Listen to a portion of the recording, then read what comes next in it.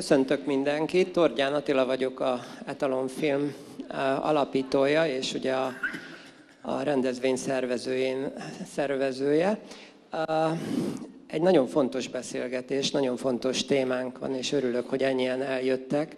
Ugye az időpont nem könnyű, mert ugye fél fél kettőkor nem, nem a legjobb időpont, viszont a film, amit utána megnézünk fél háromkor, az egy kétrészes film, és csak itt tudtuk a rendezvény programjába betenni, mert ugye este ugye lesz a Pál Krisztus apostola, utána meg a Wim Wenders Nagy Ferenc pápa filmje, de hát ezért most kellett találkozzunk, és köszönjük a áldozatot, hogy ennyien eljöttek.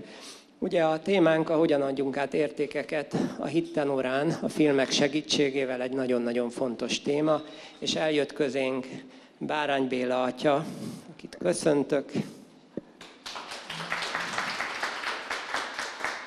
Horváth Ágnes nővér, és Major Dorinát is köszöntöm itt körünkbe. Én át, a, ami, amit elmondanék csak így nagyon röviden, hogy mi az etalonfilm tulajdonképpen a keresztény filmet karolta föl, az, hogy minél többen ismerjék meg a keresztény filmet, és ez egy nagyon nagyképű elnevezés lehet ugye az etalon. És nálunk az etalon nem másra vonatkozik keresztény embereknél, hogy nekünk Krisztus az etalon, és azt próbáljuk a filmek segítségével közelebb hozni az emberhez. Tehát a keresztény film célja az, hogy Krisztushoz közelebb vigye az embereket, és a másik pedig, hogy vágyat is ébresszen az emberekbe Krisztushoz közelebb kerülni. Ez egy nagyon-nagyon fontos dolog, és én most többet nem mondanék időszűkébe, ugye mert nagyon szoros a program, de átadom a szót itt a, a jelenlévőknek, akik majd beszélnek nekünk egy nagyon fontos témáról, ugye, amit én nem is szeretnék jobban hangsúlyozni. Köszönjük szépen, és én is nagy szeretettel köszöntöm Önöket is, és természetesen a televízió nézőit is, és nagyon bízunk abban, hogy gazdagodva távozunk ma mai napon, hiszen azt mondta itt a, a Tordján Attila úr, hogy az etalon, hát az etalon szót említette, igen, akik itt ülnek velem szemben, ők is etalonok, mondhatnám, hiszen mindenki a hit átadásában dolgozik, szolgál.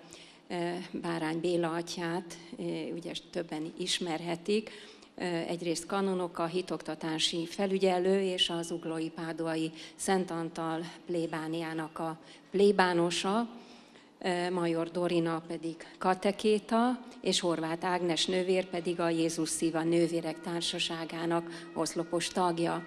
De hogy egy kicsit jobban megismerhessük őket, és az ő munkájukat, az ő szolgálatukat, hiszen a hit átadása nem lehet munka, hanem csak is szolgálat. Elsőként kérdezem Bárány Béla atyát, hogy amit választott jelmondatot annak idején a papi eh, szolgálatához, eh, hogy ha jól emlékszem, hogy eh, a növekedés volt, hogy neki növekednie kell, nekem pedig kisebbednie. Ez volt 1980-ban, hogy ez a növekedés és csökkenés az ön életében hogy alakult, és természetesen elsősorban eh, hogy hallotta meg Isten hívását erre a szolgálatra. Szeretettel köszöntöm én is a kerekasztal résztvevőit. Személyességet mindenképpen kell belevinni, hiszen mindannyian, mint személyek vagyunk, Isten teremtményei egyedi névvel, egyedi személyiséggel, és így szólít meg, így szeret bennünket. Hát hosszú a története ennek, én magyar irodalom tanár szerettem volna lenni. Hogy most ez miért nem így alakult, azt nem részletezem. Végül is papként is művelem mind a kettőt, és nagyon szeretem. Az irodalom szeretete az 7 éves, 7 voltam, kis surmó gyerek, aki a plébánián sokat segített az akkori atyának, az első lelki atyámnak, imádságokat gépelni. Akkor még csak írógép volt. Mivel nem volt tévé a falunak, csak egy-két házába, ezért az én mániám az olvasás volt. És emlékszem, amikor felfedeztem az atya könyvtárába Henrik Sienkiewicznek, az ismert Nobel-díjas lengyel írónak a trilógiáját, a Tűzzelvassal, az özönvíz, valamint a kislovagot. Mind a három rész, vagy mind a három része a trilógiának három háborúba viszi az embert, a tűzzelvassal a fellázadt kozákok harcait mutatja be, az özönvíz, a hódítós védek területfoglaló akcióit és a lengyel szabadságharcot, a kislovak pedig a délről, keletről beáramló törökök, tatárok elleni szabadságharcot ecseteli. És ez a három könyv volt tulajdonképpen az első, ami elindított, nagyon jó fordítások voltak, és én nagyon szerettem olvasni. És aztán jött a többi ezen túl, aztán mikor felszenteltek pappá 1980-ban is, a jelmondatom, papi elmondatom, mindenkinek, mindenki választ egyet.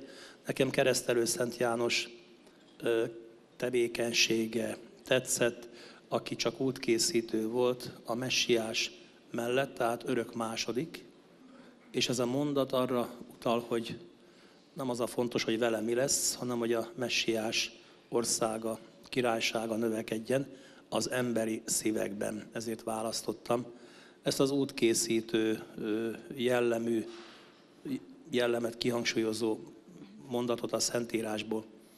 De 1980-ban, amikor pappá szenteltek, még a régi idők voltak, és akkor bár hallottam arról, mik vannak, milyen eszközök hitoktatásban, stb., akkor mi csak fakultatív iskolai órákat lehetett tartani, a plébániait meg nagyon ellenőrizték, de amikor kijutottam Ausztriába, Németországba, és hallottam, hogy milyen jó filmeket lehet kapni, Kvóvádis, Ben Hur, tíz parancsolat, persze mindegyik németül, becsempésztem valahogy a táskámba, és odahaza készítettem egy nyers fordítást, mert németül beszélek, és aztán a filmet elindítottam, én meg mondtam mindenki szövegét alája, félelmetes volt. Így kezdődött a, a könyvekkel, meg a filmekkel való barátságom, amit aztán a hitoktatásban, illetve a pastorációban sokféleképpen tudtam használni, és felfedeztem azt a, azt a jó dolgot, hogy igenis, az evangélium igazságát, az örömhírt alá lehet támasztani, ki lehet emelni, akár könyvekkel, akár filmrészletekkel, ha oda valók és megfelelnek. Nagyon szépen köszönjük Béla atyának, és akkor most Ágnes nővért szólítanám, aki ugye a Jézus szíve nővérek társaságának tagja, és nem összetéveszthető a Jézus szíve társasággal. Ha néhány mondatban bemutatnád a, a nővéreket, illetve hogy hogyan indult el a te szolgálatod, hogyan hallottad meg Isten hívását?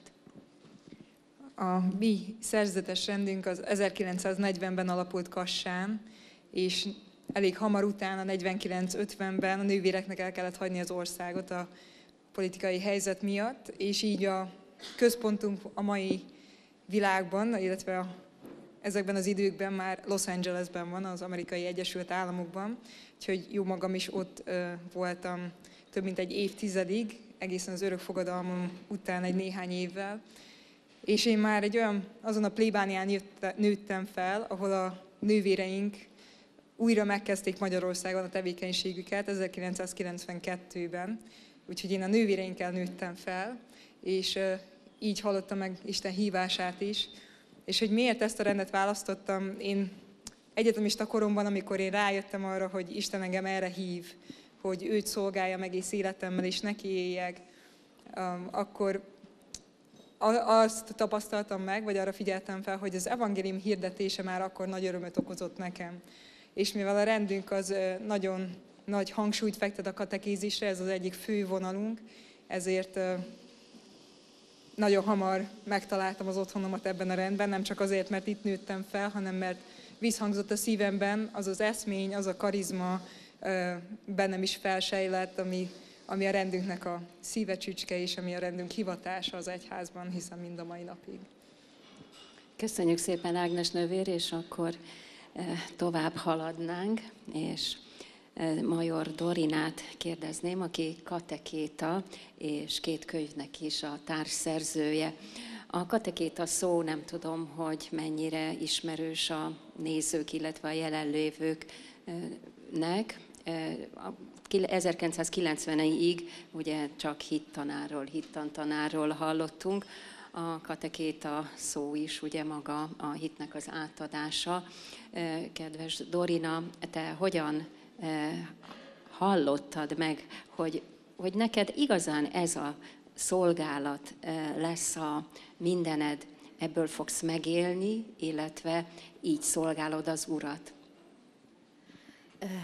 Hát ez egy nagyon hosszú történet számomra is, bár nem vagyok még annyira a tuzsálemi korú, de nálunk a családban az, hogy keresztény érték, hogy Szent Mise minden vasárnap, az természetes volt, és nálunk az édesapám volt az, aki, akinek ez nagyon fontos volt, hogy, hogy ezt így, így éljük. Édesanyám református, de, de mindebbe támogatta édesapámat, és minden vasárnap kikészítette a ruhát, Szent Misére mentünk, és közös ebéd volt. Vidéken nőttem fel, tehát ez azt jelentette, hogy vasárnap egy mise volt. Ha mentünk, akkor ott voltunk, ha nem, akkor nem volt lehetőségünk máshová Szent Misére menni. Tehát, hogy ez a keresztény értékrend számomra, ez így ebben nőttem. Jártam hittanra, fakultatív hittanra, először a templomba, aztán iskolába, és aztán kicsit sem gondolkodtam azon, hogy katekéta legyek, hanem az egészségügy irányába szerettem volna menni. De lázadó létemre volt egy olyan hittantanárom, akit nagyon-nagyon nem szerettem, és nem szerettem hittanra járni. És azt mondtam, hogy oké, okay, akkor, akkor én mégis hittantanár, akkor még nem tudtam, hogy a katekéta és a hittantanár között mi a különbség, de, de hogy én katekéta szeretnék lenni, és megmutatom, hogy a hittant úgy is lehet tanítani, hogy a gyerekek megszeressék. És a mai napig ez így a, akire azt mondják, hogy a problémás gyerek, nekem ő a szívem csücske, aki kihívást jelent, hogy hogy lehet őt megszelídíteni, mint a kis hercegben a, a rókát. Mert hogy a katekéta név az azt jelenti, hogy visszhang. Tehát mi nem hitet oktatni szeretnénk, hanem visszhangozni azt, ami az evangéliumban van, az életpéldánkkal, a tanításunkkal, a személyiségünkkel, és mindazzal, amit a Jóisten ránk bizott. És aztán így nem az egészségügy irányába indultam el, hanem, hanem a Pázmány Péter Katolikus Egyetemre, és aztán, és aztán lettem a hitoktatási felügyelőség egyik munkatársa, és aztán így itt vagyok. Szó esett itt a ittan tanárokról, vagy amit te említettél a személyes tapasztalatodban, és volt egy időszak a, az én korosztályomban, amikor nem volt divat hittarra járatni a gyermekeket, vagy pedig a szülőknek nagy titokban kellett ezt megtennie. Aztán jött egy következő időszak, amikor már hát szinte ez olyan jó pont volt, vagy lehetett vele egy kicsit kérkedni, bocsánat a kifejezésért. De mi a helyzet ma? Ma miért iratják be a gyermekeket a hittanra? Miért, miért tanítatják őket hittanra? Mi a tapasztalatotok? E, igazából többféle ok az, amiért, amiért beiratják a szülők hittanra a gyerekeiket. Vannak, akik azért, mert tényleg személyes meggyőződésük, a családban így élik, fontosnak tartják, hogy a gyerekeik hittanórára járjanak. Igen, van ilyen. Vannak olyanok, akik azért, mert hogy a nagyszülőről van egy olyan képük, hogy igen, ő vallásos volt, rosszat nem fog tanulni a gyerek, menjen. Vannak, akik, akik hallották a szülőtársuktól, hogy osztálytárs szüleitől, hogy, hogy ez a hittan, ez mégiscsak jó, és, és menjen találkozunk olyannal, amikor a gyerekek egymást hívják, hogy gyere, és nyilván kell a szülő beleegyezése, hogy, hogy ott lehessen a hittanórán, és így kerülnek hittanórára. Aztán van az, amikor a tanítók vagy a tanárok ajánlják. Mert hogy vannak, én önkormányzati iskolában tanítok, két önkormányzati iskolában, és nagyon sokat számít az, hogy a, a tanárok, tanítók hogy állnak a hitoktatáshoz, a hittan tanárhoz, vagy mondjuk a katekétához, tehát, hogy nagyon, nagyon sokat számít ez, hogy milyen az én helyem a tantestületben, amellett, hogy én nem vagyok a tantestületnek a tagja. Talán még egy, amit tudnék említeni, hogy van, amikor egy, a szülő már ismeri a, a katekétát, bár nem vallásosak, de mégis, mivel ismeri a katekétát, ezért azt választja, hogy katolikus hittanra, vagy más hittanra járatja a gyermekét. Még eszembe jut valami, ami, ami egy egészen kivételes helyzet volt. Óvodába tanítottam hittant néhány évvel ezelőtt, és mentem a kis csemetékért, amikor odajött egy kislány, és azt mondta, hogy te hová viszed a többieket. És földbe gyökerezett a lábam, és hogy elkezdtem valamit mondani ennek a négy éves kislánynak, hogy, hogy mit, mi, hová is viszem, mi is ez a hittanóra, és hogy ő, akkor most ő jön velem. És megbeszéltük, hogy anya engedélyekkel hozzá meg az apáé, és mondta, hogy oké, okay, majd elintézem. Um, és azért a gyerek szavára azt mondjuk, hogy oké, elintézi, lehet, hogy jövő hétre elfelejti, és következő szerdán mentem ugyanebbe az óvodába, és jött és rohant, és azt mondta, hogy oké, okay, elintéztem. És mentem az óvónénihez, hogy akkor most mi történt, és azt mondta, hogy igen, itt a papír, anyuka, apuka megengedte és mehet. És, és ebben a történetben az lett, hogy ez a kislány meg lett keresztelve, egyházi iskolába jár jelenleg, és hogy ez a család úgy tagozódott be a, a Szent Család, 6. kerületi Szent Család plébániára, hogy néhány év múlva a farsangi mulatságot ők, ők szervezték, tehát ők tanították a görög táncházat, és hogy az egész családot úgy vonta be ez a kicsi lány, hogy, hogy tényleg csak azt mondhatjuk, hogy a Szentlélek ajándéka volt ő.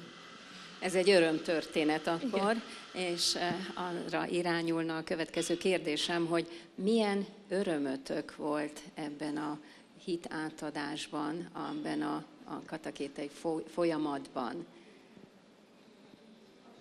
Akkor még egy mondat, hogy ez a legnagyobb öröm, amikor sikerül úgy egy gyereket vagy egy családot bevonni a plébánia életébe az egyházhoz kapcsolva, hogyha lehet, hogy én már nem fogok ebbe az önkormányzati iskolába tanítani, vagy ő elkerül egy másik iskolába, de mégis egy olyan közösségbe sikerül begyökeresztetni, ami számára az élet és az örök élet is lehet. Ágnes nővér. Én egy, egy kicsit visszalépnék, mert az már egy nagyon szép sikertörténet, és hála Istennek abból is van jó néhány. Emellett azt is, nekem az is örömet okoz, amikor látom, hogy az evangéliumnak milyen ereje és hatása van. Ugye amikor egy állami iskolában, vagy akár egy katolikus, vagy bármilyen egyházi iskolában tantárgy keretben, hogy úgy mondjam, tehát egy tantárgyi szituációban tanítunk a hitről, vagy hirdetjük az evangéliumot, kicsit más a hozzáállás, mert van ott 45 perc, jegyet kell adni rá, van egy tananyag sokak fejében, amit úgy hú, azt végig kell rágni, és vannak persze olyan diákok, akik csak arra mennek, hogy hogyan lehet ötös szerezni, semmi más nem érdekli őket, holott a mi célunk az nem ez. A mi célunk az az, hogy az életre neveljük, hogy az igazságot hirdessük, hogy az embereknek Krisztus örömhíre által életet adjunk. És ez sokszor nehézséget is okoz, egy nagy kihívás, úgyhogy ez a Soha nem késő című film, ez nagyon idevág ilyen szempontból. De ami öröm volt nekem nagyon sokszor az elmúlt években, amikor láttam azt, hogy valaki megnyílik erre. Tehát, hogy hogyan tud ez az ellenállás formálódni, hogy anya engem erre kötelez, meg minek ez a hittan, így ez már a hetedik órán, vagy a nyolcadik akár, és van belőle elég, és kötelező, és stb. És amikor valaki mégis megnyílik, én azt vettem észre, hogy amikor életbe vágó kérdésekről beszélünk, például mi az, hogy emberi szabadság? Mi az, hogy, ne, hogy ez nem azt jelenti, hogy én bármit megtehetek? Hát nem azt jelenti a szabadság? Hát nem. A jóra való szabadságomat, és hogy döntenem kell, hogy döntés, hogyan, hogyan döntök el valamit? Hogy hú, hát ez nem jó, hogyha nem döntök. Vagy hogy az igazság micsoda. Vagy amikor társas kapcsolatokról beszélünk. Olyan, amikor olyat mondunk, ami az emberek szívében vízhangzik, legyen az egy 5 éves, egy 10 éves, egy 17 éves, egy 25 éves, 60 éves, és mehetnék tovább, vagy közt, közben, az igazság visszhangzik az ember szívében. Ez Isten ajándéka számunkra. És azt láttam, hogy a legnehezebb csoportok is, amikor ilyenről van szó, síri csend van. Tehát az evangéliumé a terep. Isten igazságáé a terep. És nekem ez az egyik legnagyobb öröm, hogy, hogy az igazság előtt tényleg megnyílik az emberi szív. Béla atya. Néha ott találkozunk a hit sokat sejtető örömével, ahol nem is várnánk, például a piacon.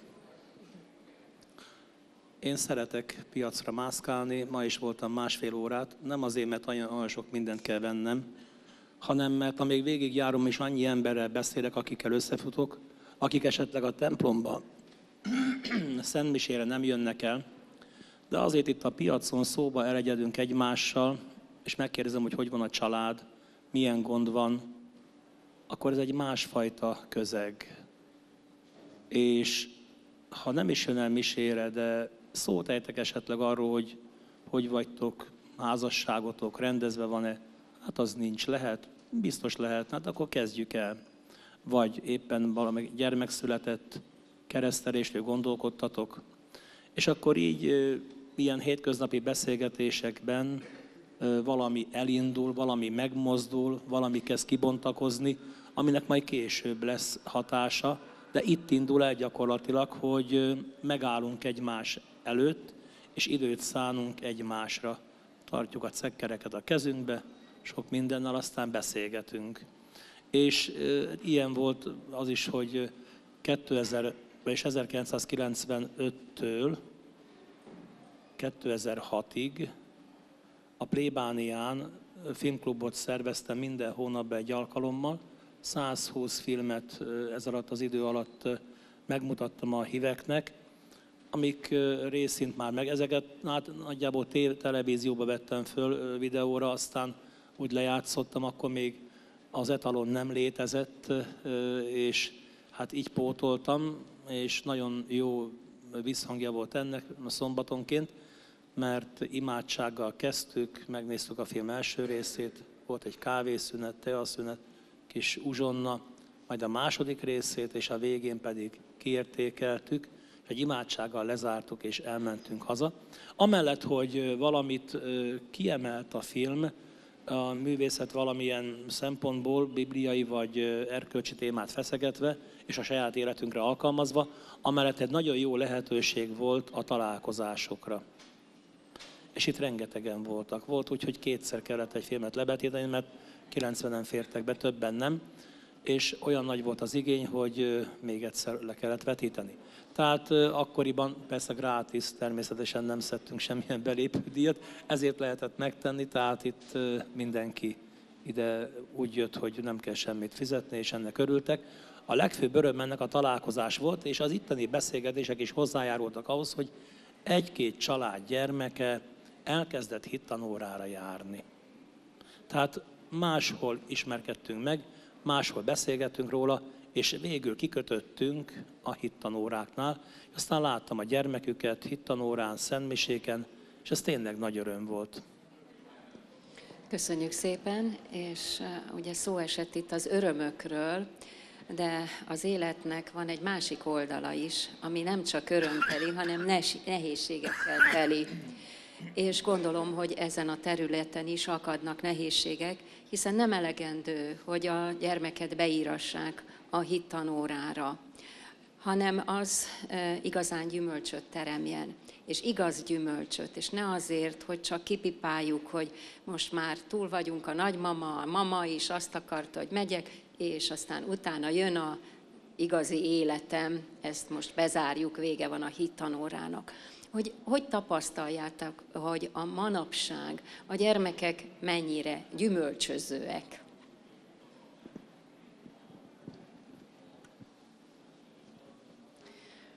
Persze ennek is nagyon sok kihívása van, abból már említettem is egyet vagy kettőt.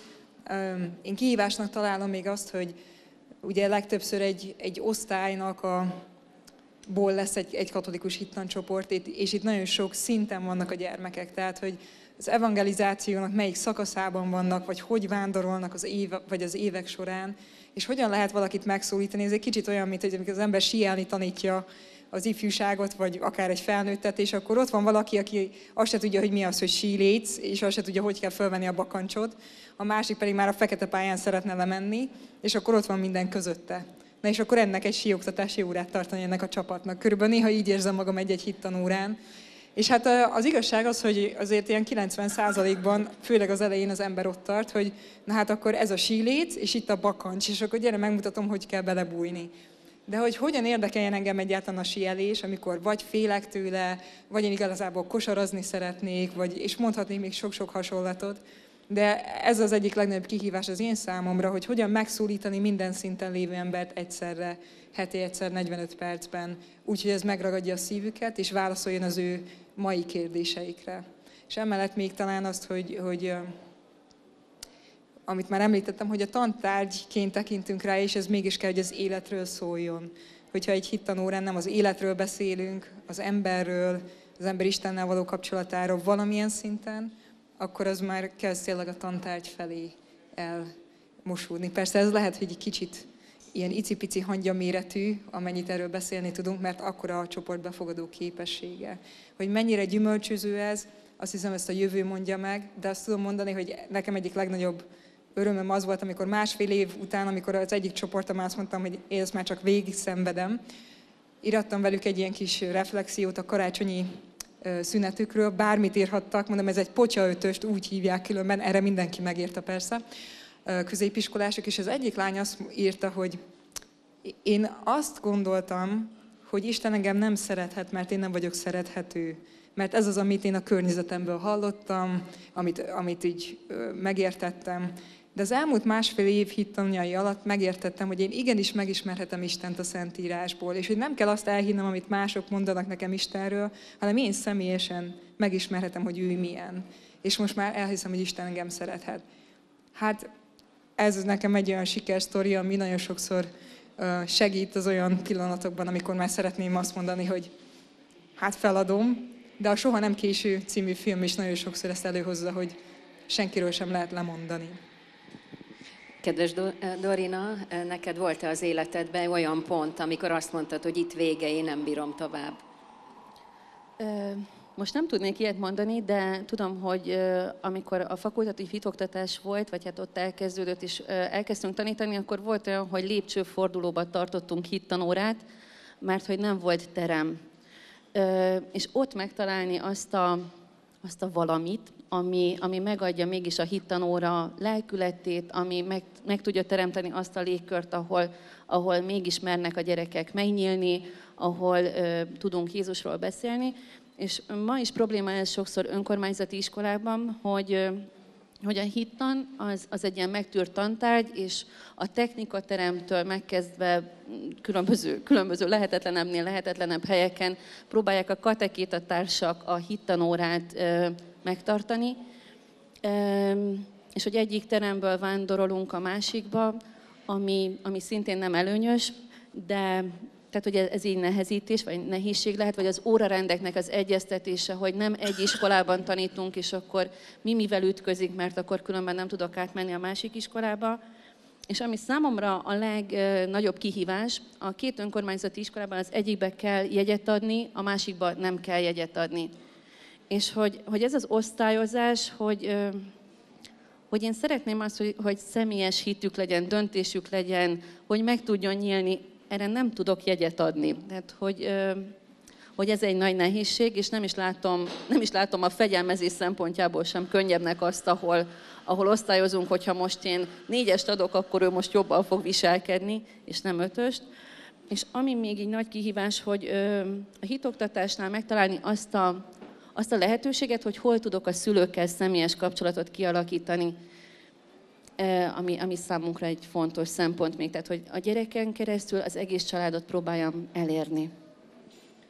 Itt az elején szó esett a filmről, és Béla atya mondta, hogy ugye ő a filmes karrierjét a, a, a német alámondással kezdte, de a hitoktatásban is nagy szerepe lehet a filmeknek, hiszen a második vatikáni zsinatnál is azt mondták, hogy minden eszközt igénybe kell venni, hogy be tudjuk vonzani az ifjúságot, hogy értékeket tudjunk átadni, hiszen ennek a beszélgetős műsornak is az a mottója, hogy hogyan adjuk át az értékeket.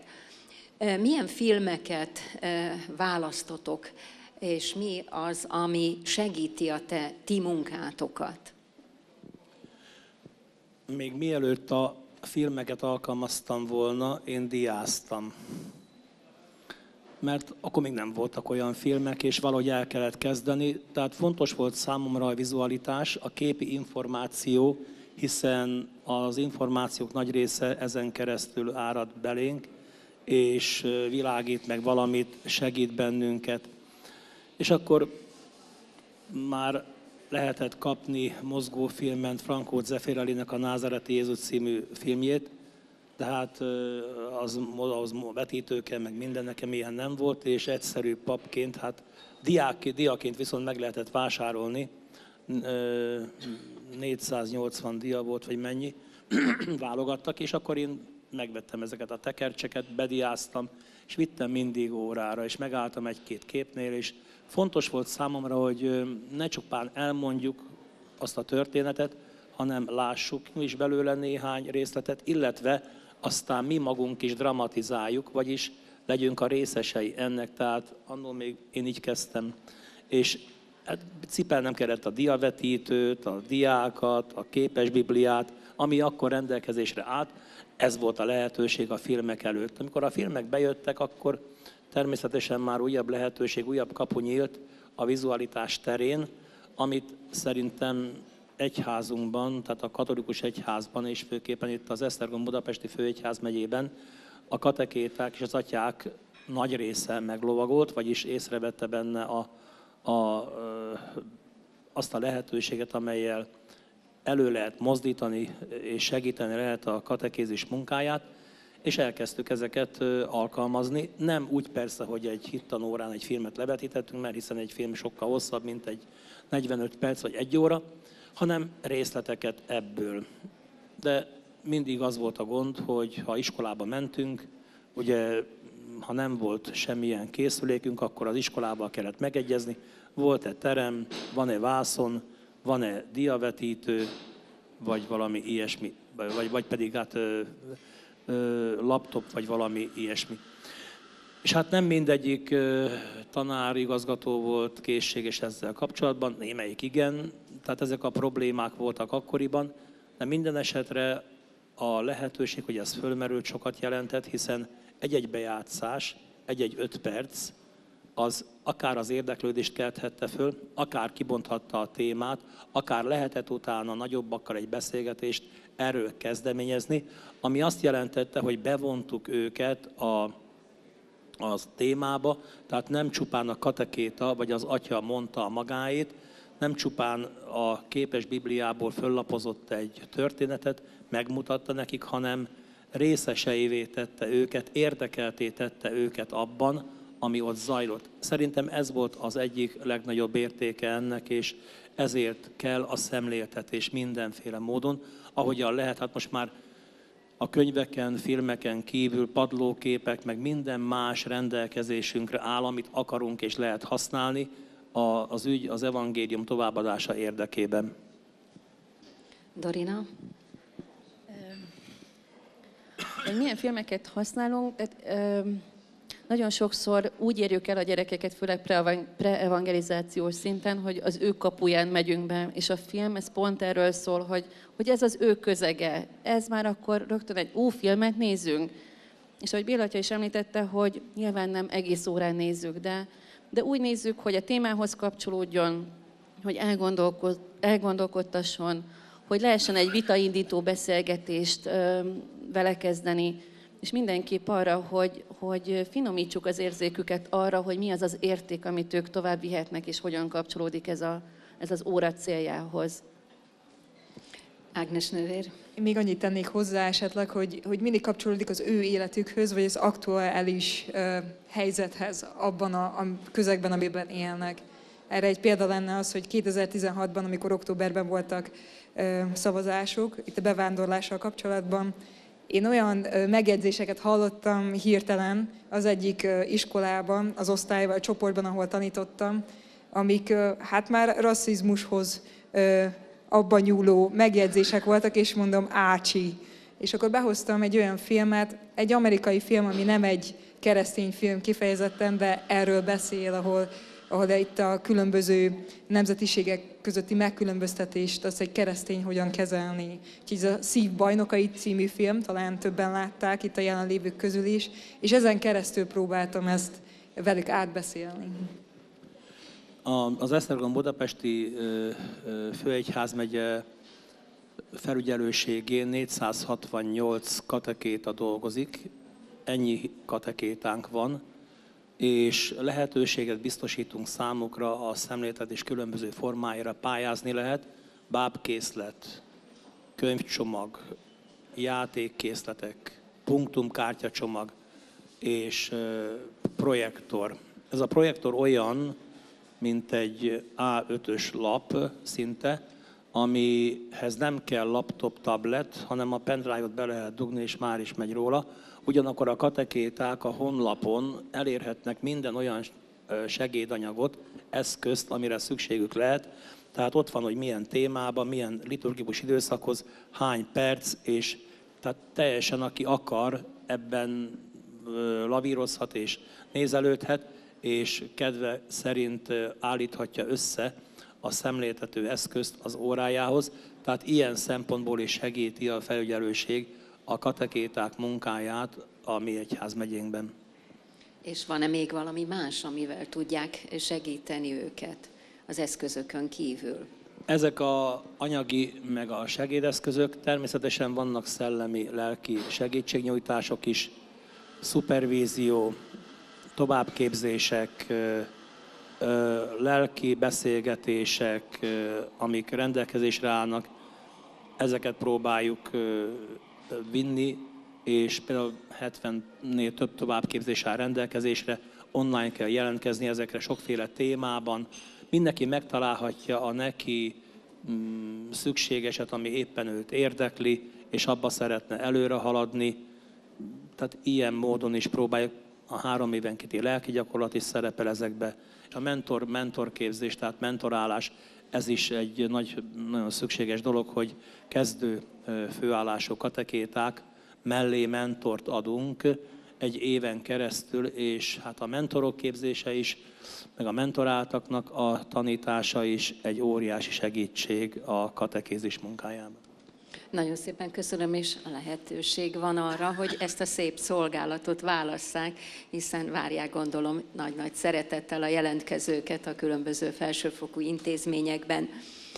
Nagyon elszaladt az időnk, még én nagyon szívesen beszélgetnék a hitoktatásról, ennek az örömeiről, gyönyöreiről és filmeikről. De itt szó esett már, Ágnes Növer említette, a Sohasem késő című filmről, re utalt egész pontosan. Mindenki látta ezt a filmet a jelenlévők közül. Végezetül arra kérném, kérnélek benneteket, hogy emeljetek ki egy részt hogyha ki lehet. Mindig nehéz a választás, hogy melyik volt az, ami legjobban megérintett benneteket, és úgy éreztétek, hogy na hát ezt, ezt talán majd én is alkalmazom, vagy talán ez nekem szólt, vagy talán ezt nem így kellene csinálni, hogyha ezt végezetül meghallgatnánk, talán Ágnes nővérrel kezdeném. Nekem az egyik legemlékezetesebb részlet ebből a filmből, amikor Manci, ugye a főszereplő kiviszi a a javítóintézet tagjait a szabad térre, és azt mondja, hogy nézzenek fel az égre. És akkor nézik a felhőket, hogy mit látnak benne, és az egyik fiú, egy másik főszereplő, Felipe, azt mondja, hogy tanár úr, amikor felnézek az égre, akkor fáj a nyakam. És ez egy kicsit úgy tudtam azonosulni, mint katekéta, hogy bizony, amikor az ember egy megrögzül egy valamilyen állapotban, legyenek azok a körülmények, legyen az a neveltetése, legyen az a saját korlátai által előidézett állapot, amikor mi megtanítjuk felfelé nézni, Isten felé fordulni, az az elején küzdelmes tud lenni mindkét részről, és ez nem ingyen jön, abban van egy kis izomláz, van egy kis fájdalom így vagy úgy, de megéri, mert a szabadság felé, a valódi énünk felé, egy egészen új és felettes világ felé irányítja az, a tekintetünket. Köszönöm, Béla atya. Nekem a legelső képsorok, képkockák ragadták meg a figyelmemet, amikor Manci állást keres, és bár nagyon jó pályázata volt és eredménye volt, valahogy nem került rá a listára, kimaradt és munkanélkül, állás nélkül maradt, és kiveri a balhét a főnöknél, asztalra csap, és mm, követeli az igazságot, meg hogy micsoda eljárás ez, és kint észreveszi egy másik kolléga talán, hogy gyere, én tudok neked valamit. És akkor ajánlja a javító intézetbe, hogy ott lehetne tanár. És el is megy, akkor megtudja, hogy ezekhez a gyerek fiatalokhoz megy, akik között sokan nem tudnak olvasni, írni, nem vihet be papírt, nem vihet be ceruzát, semmit, hanem mondom, ebből mit fog kihozni az Úristen ennek az embernek a segítségével. Erre gondoltam. Hát ez egy vert helyzet. itt, itt, itt szokták föladni. Na, köszönöm szépen, csomagolok és megyek.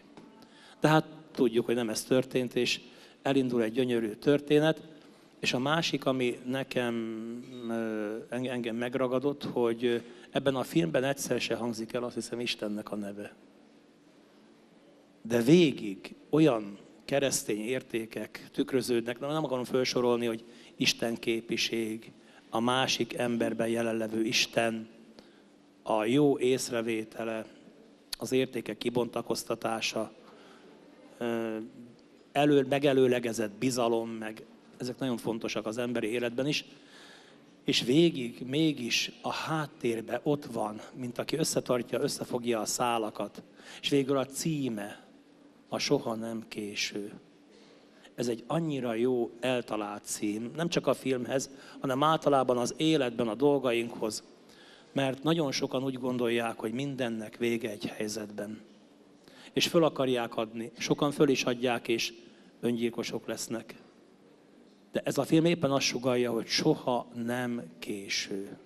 Nekem azt érdekes, ez nincs benne, de azt sugalta, soha nem késő, ha átléped a gyóntatószék, vagy a gyóntató helyiség ajtaját. Soha nem késő, mert most is azonnal újra kezdhetsz. Soha nem késő, amíg valaki meghallgat téged és időt szán rád. Soha nem késő, amíg valaki szeret. Hiába, hogy eddig senki sem szeretett, senkinek se voltál fontos. Ha most valakinek fontos vagy és szeret, soha nem késő. Ezért szép ez a film számomra. Köszönöm szépen, és végezetül Dorina.